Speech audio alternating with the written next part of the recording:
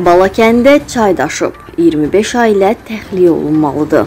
Məlumat verildiyi kimi bu gün gecə saatlarından başlayaraq respublikanın şimal-qərb bölgəsində yağan intensiv yağışlar nəticəsində bir sıra dağ çaylarında sululuğun artması, qısa müddətli sel və daşqınla müşahidə olunub. Balakən və Zaqatala rayonlarının bir neçə yaşayış məntəqəsində bəzi fərdi evlər, həyətyanı və əkin sahələri, digər obyektlər və onların ətrafı su basmaya məruz qalıb. Fövqəladə Hallar Nazirliyindən verilən məlumata görə yaranmış vəziyyətlə əlaqədar dərhal Fövqəladə Hallar Nazirliyinin müvafiq qüvvələri, o cümlədən aviasiya dəstəsinin bir ədəd helikopteri xilas etmə, su çəkmə və digər təxirəsalınmaz tədbirlərin görülməsinə cəlb olunub. Belə ki, helikopterin cəlb olunması ilə xilas edicilər tərəfindən sel nəticəsində Katexçay çayının Zaqatala rayonunun Mazıq kəndindən keçən hissəsində batmış. 1968-ci il təvəllüdlü Abulxalıqov Abulbari Müslümoğlunun cəsədi çaydan götürülərək aidiyyatı üzrə təhvil verilib. Həmçinin bu gün saat 18:30 radələrində Balakən rayonunda davam edən yağış nəticəsində rayon ərazisindən keçən Balakən çayı məcrasından çıxdığı üçün çay sahilində yerləşən Salban yaşayış məntəqəsində 118 ailədən 25 ailənin təxliyə edilməsi zərurəti yaranıb. Nazirliyin qüvvələri, o cümlədən Dövlət Yanğından Mühafizə Xidməti,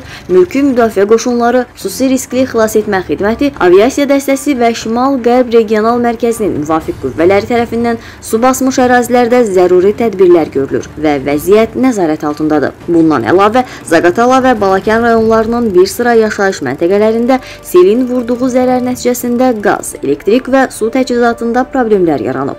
Qaz, su və elektrik təchizatının bərpa edilməsi, həmçinin kənara çıxan su axınının məcrasına qaytarılması üçün Fövqəladə Hallar Nazirliyi və digər aidiyyatı qurumların texnikaları və şəxsi heyəti ərazidə fəaliyyətini davam etdirir.